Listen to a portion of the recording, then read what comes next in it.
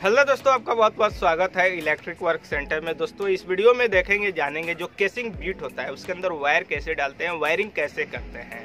मैं यहाँ पे फुल एक रूम का वायरिंग करके दिखलाने वाला हूँ। इस रूम में हमें एसी पॉइंट भी देना है, तीन लाइट पॉइंट देना है, पावर प्लग पॉइंट देना है और स्विच बोर्ड तो जनरली रहेगा ही।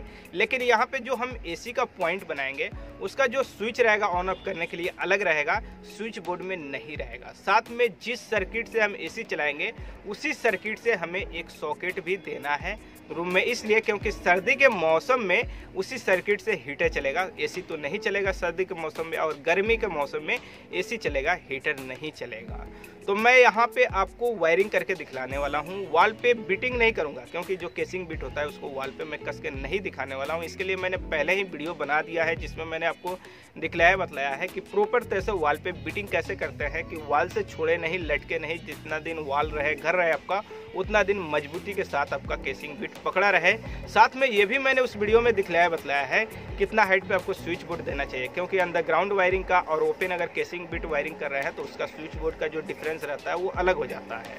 पावर प्लग कितनी हाइट पे लगाना चाहिए लाइट पॉइंट कितनी हाइट पे लगाना चाहिए, इसके लिए ऑलरेडी मैंने वीडियो बना दिया है। ये वाला वीडियो है, अगर आप इस वीडियो को नहीं देखें हैं तो वीडियो के डिस्क्रिप्शन में लिंक है, आप इस वीडियो को ज़रूर देखिए, ताकि आपको पता चल सके और समझ सके और अच्छी तरह से आपको जानकारी हो कितनी हाइट पर हमें बोर्ड लगाना चाहिए और किसिंग बीट जो होता है प्रॉपर तरह से वॉल पर किस तरह से क्लेम करते हैं, किस तरह से बिटिंग किया जाता है। तो चलिए दोस्तों, आज की वीडियो शुरू करते हैं कि वायरिंग कैसे करते हैं केसिंग बीट के अंदर। तो जैसे कि ये हमारा फ्लैट है और इस फ्लैट में जो वायरिंग हम स्टार्ट करेंगे, सबसे पहले ये वाला रूम इसी से स्टार्ट करेंगे और इसी में सबसे पहले वायरिंग करके आज की वीडियो में हम आपको दिखाने वाले हैं। तो ये इस रूम में जो है, हमने पहले ही बिटिंग कर दिया है। जैसे कि पिछली वीडियो में मैंने आपको बताया हुआ है कि मैं प्रॉपर तरह से बीट जो है लगा करके रखूँगा, पूरा क्लेम करके, क्लिप करके, पूरा स्क्रू लगा करके फिसर स्क्रू टाइट करके और यहाँ पर फाइनल रखे हुए हैं। जैसे कि इस साइड यहाँ पर हमें एसी का पॉइंट देना है। अब चलिए हम क्या करते हैं? वायरिंग स्टार्ट करते हैं। तो सबसे पहले हमें वायर लेना होगा। तो वायर हम क्या करेंगे? सबसे पहले हम बाहर चलते हैं और यहाँ से एक ब्लैक एक रेड वायर लेते हैं और 2.5 पॉइंट mm का और इसे यूज़ करेंगे हम एसी के सर्किट में। जो एसी है, वो हमारा 1.5 टन का है और 2.5 पॉइंट mm वायर से चल सकता है। अब हॉल के साइड जो होल किए हैं मेन लाइन ले जाने के लिए, यहाँ से वायर को हम डालेंगे। क्योंकि इसमें दूसरा कहीं पे लुपिंग होना नहीं है, ये डायरेक्ट एसी तक जाएगा, इसमें किसी तरह का ज्वाइंट नहीं होगा, इस तरह से बिटिंग से होते हुए चला जाएगा, यहाँ पे हमारा एसी के जगह पे। सबसे पहले इस वायर को थोड़ा हम खींच लेंगे। और इस वायर को खींच लेंगे, थोड़ा लंबा खींच लेंगे, बड़ा हो जाएगा तो फिर रिवर्स भी ले सकते हैं। इसीलिए मैंने हॉल से लिया हुआ है। उसके बाद एक बड़ी अर्थ का वायर लेंगे। बड़ी अर्थ का वायर जो है, रूम से ले सकते हैं। और यहाँ पर सबसे पहले क्या करेंगे? वायर को यहाँ पर इस तरह से सॉकेट हमें लगाना है ऊपर। और इस तरह से यहाँ पर हमारा स्विच बोर्ड रहेगा तो मेज़रमेंट करेंगे और थोड़ा लंबा करके कटिंग कर देंगे जितना हमारा स्विच बोर्ड में आ जाए वायर। उसके बाद फिर लेंगे तीनों वायर को। और यहाँ पे तीनों वायर में सबसे पहले टेपिंग करेंगे। इसलिए क्योंकि पहचान में रहे कि हाँ ये हमारा इनपुट का है। और जो तीन वायर को हम कट किए हैं सॉकेट के पास जा रहा है, उसमें टेपिंग नहीं करेंगे। उसके बाद छः वायर यहाँ पे हो गया। इस छः वायर के मुँह पे इकट्ठा करके टेप फिर लगा देंगे, ताकि हमारा वायर इकट्ठा हो जाए।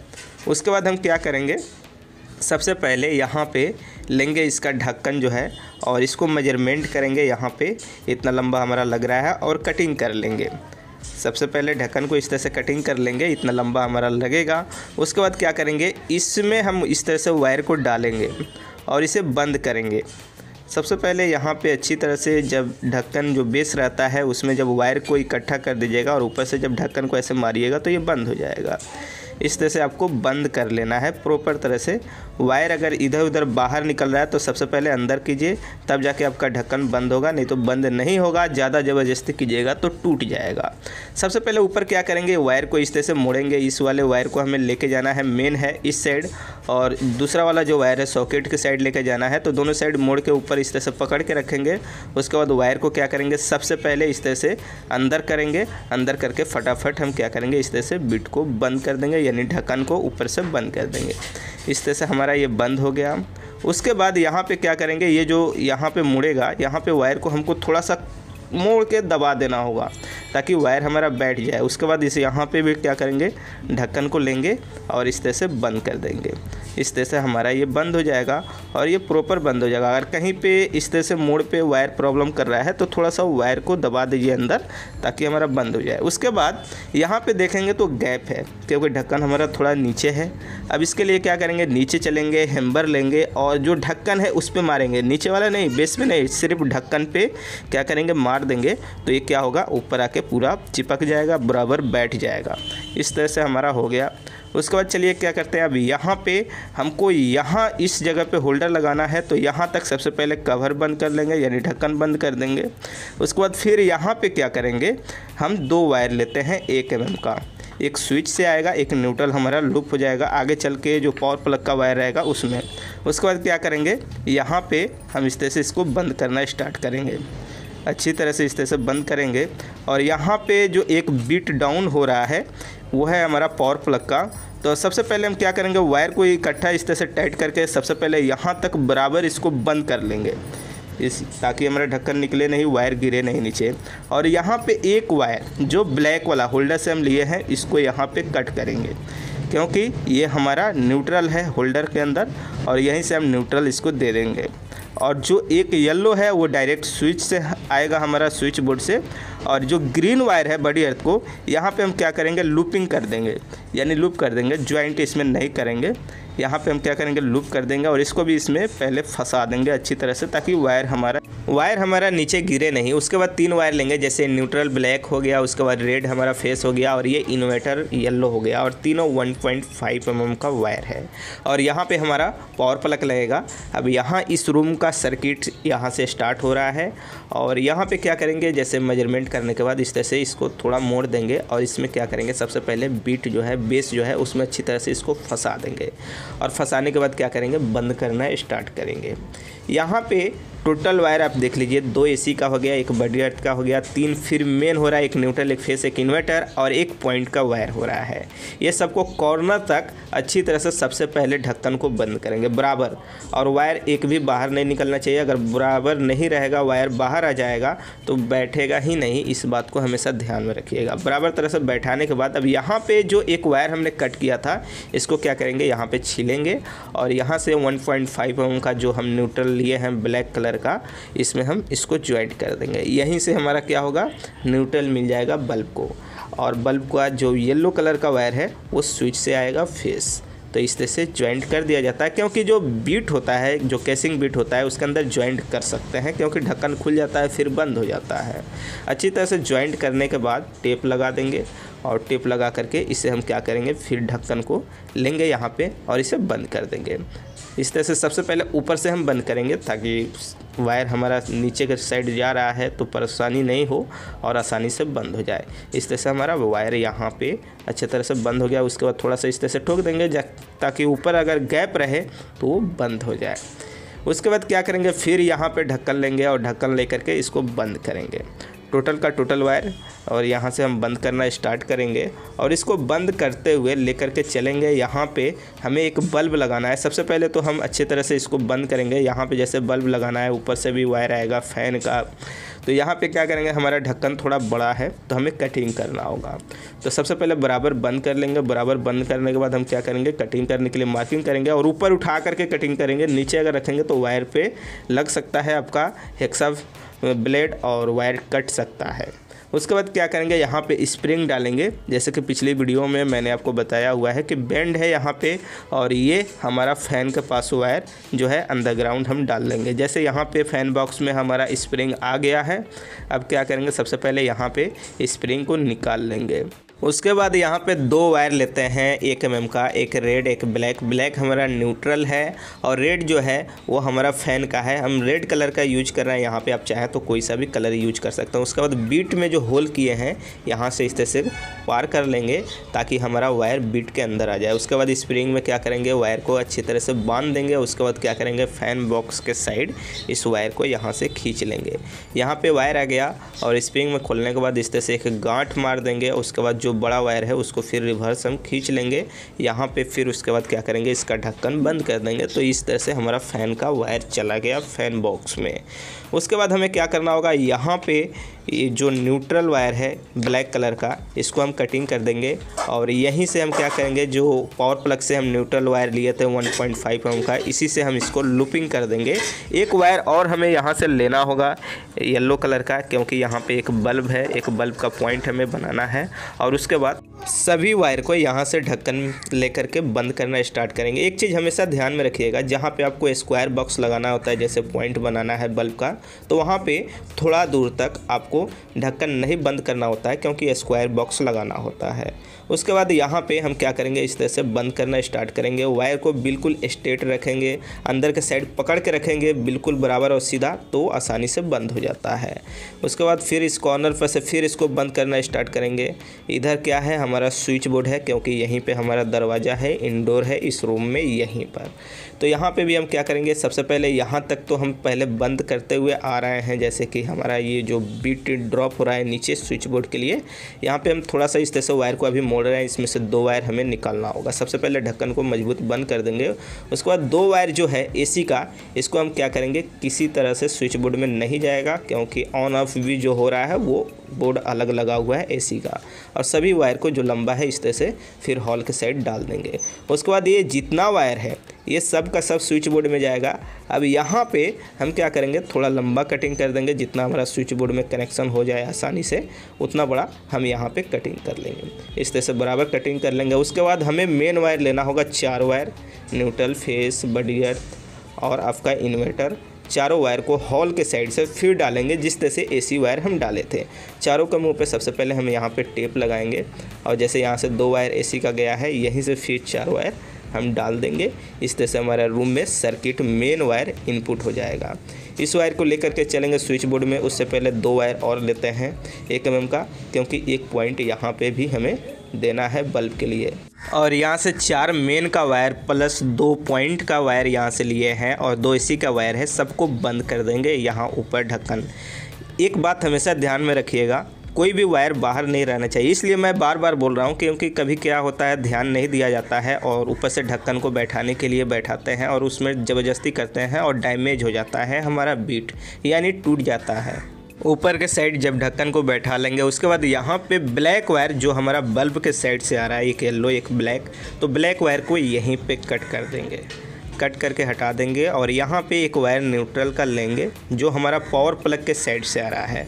उसी में हम इसको छील करके ज्वाइंट करेंगे। ऐसा नहीं है कि मेन जो हमारा आ रहा है उसमें ज्वाइंट हो भी ऐसा बिल्कुल नहीं करना है। जो हमारा पावर प्लग के साइड से आ रहा है, उस न्यूट्रल में आपको ज्वाइंट करना है। इस बात को हमेशा ध्यान में रखिएगा और अच्छी तरह से ज्वाइंट कर लीजिएगा। उसके बाद उसमें टेप भी लगा दीजिएगा। और प्लाई से पूरा टाइट कीजिएगा, लूज नहीं रहना चाहिए। कोई भी इलेक्ट्रिकल काम कहीं पर भी वायर का कनेक्ट कर रहे हैं ज्वाइंट दे रहे हैं या कस रहे हैं, कभी भी लूज नहीं होना चाहिए।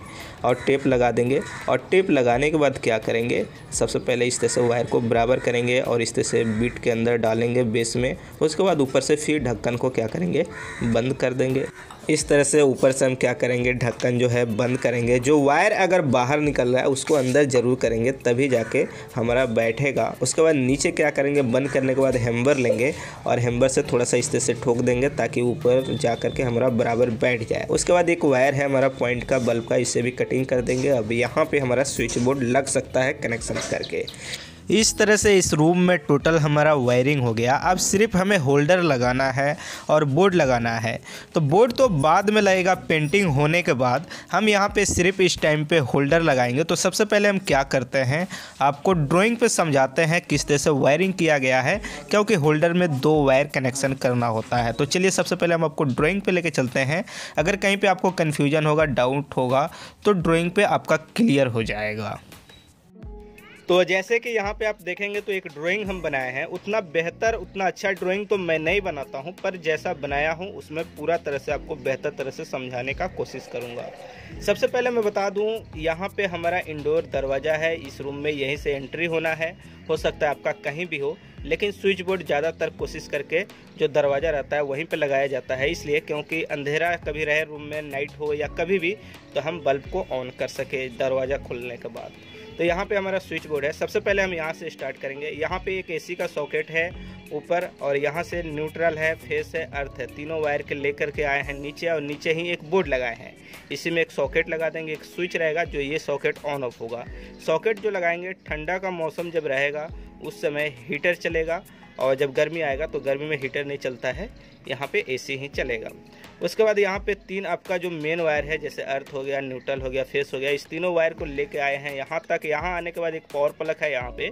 तो अर्थ वाला वायर को लुपिंग किए हैं। बाकी न्यूट्रल फेस को सेपरेट लेकर के आए हैं इस तरह से। और अर्थ को भी लुपिंग करने के बाद लेके आए हैं। तो स्विच बोर्ड में छोड़ दिए हैं अर्थ का वायर लेकिन न्यूट्रल फेस को यहाँ लेकर के बाहर निकल गए हैं। ये डायरेक्ट डिस्ट्रीब्यूट बॉक्स में चला जाएगा। और ये जो अर्थ है, ये मेन वायर जब आएगा न्यूट्रल फेस इस रूम का सर्किट इससे ये लुपिंग हो जाएगा।